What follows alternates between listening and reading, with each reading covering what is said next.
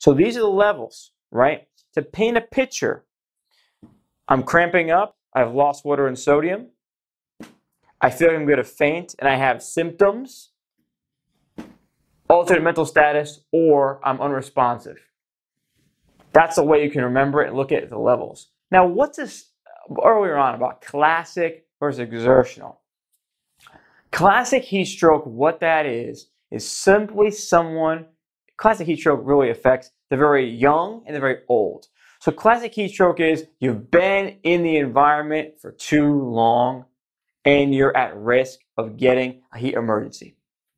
Exertional, that happens to athletes. So the athlete has been training too hard or in the game for too long in the heat. Classic, young and old, exertional, usually athletes.